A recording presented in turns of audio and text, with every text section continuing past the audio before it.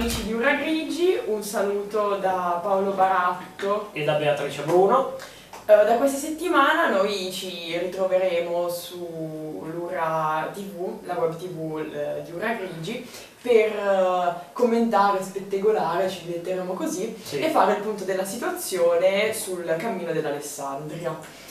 Paolo, guarda, partiamo subito, ti faccio subito una domanda, così smorziamo un attimo il primo momento.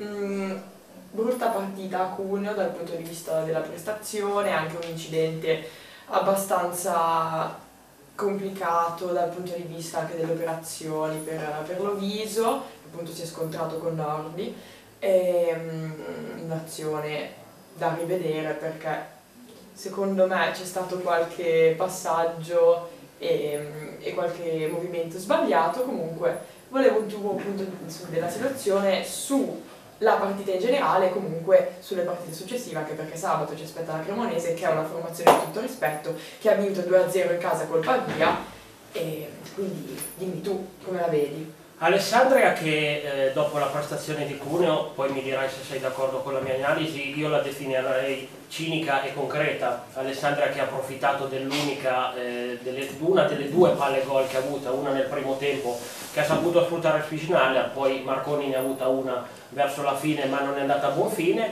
Alessandria che eh, fa ancora un po' fatica dal punto di vista del gioco, no, Bea, ma mi sembra che comunque eh, domenica l'importante era venire via da Cugno con i tre punti dopo il passo passo contro la Feralpi e quello è stato fatto e quello è stato conquistato ed è quello forse la cosa principale. Molte volte in alcune partite e in alcuni momenti della stagione non bisogna guardare al gioco ma bisogna come si suol dire mettere fieno in cascina per l'inverno, no? Passami il termine.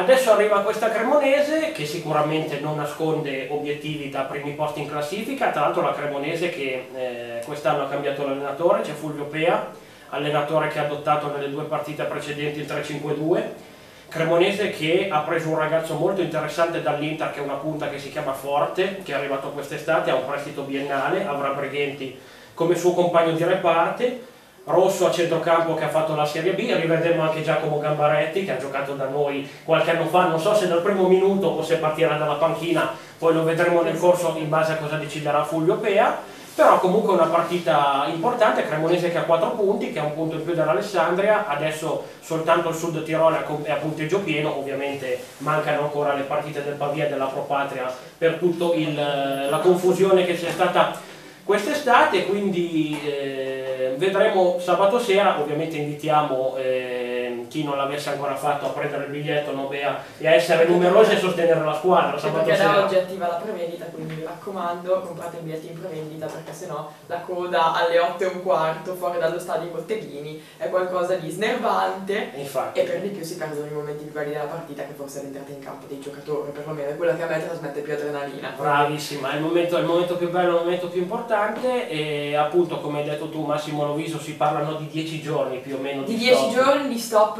certo mm. speriamo si riprenda in fretta anche perché lui ha davvero tanta voglia di dimostrare all'Alessandria ad Alessandria e ad Alessandria in quanto noi tifosi il, mm, la stoffa di cui, di cui è fatto perché effettivamente basta solo andare su Wikipedia, leggere giusto due nomi di squadra, due due numeri e si capisce che questo è un giocatore che avrà sicuramente tanto da dimostrarci. Calcolando anche che forse è l'unico giocatore in rosa dei 23 che non ha un sostituto naturale come caratteristiche, quindi certo, domenica, certo. cioè sabato sera bisognerà vedere Giuseppe Scienza chi, eh, come imposterà il centrocampo avendo appunto la mancanza di Massimo. Abbiamo dei giocatori molto utili che secondo me dovrebbero, si dovrebbero sfruttare meglio tipo Vito Francesco. Per me Vito Francesco è un giocatore um, che salirà sempre la sua, un giocatore costante, l'anno scorso è stato forse il giocatore più costante e meno contestato di tutti perché dove lo metti sta, fa la sua partita, gioca bene, gioca per la squadra,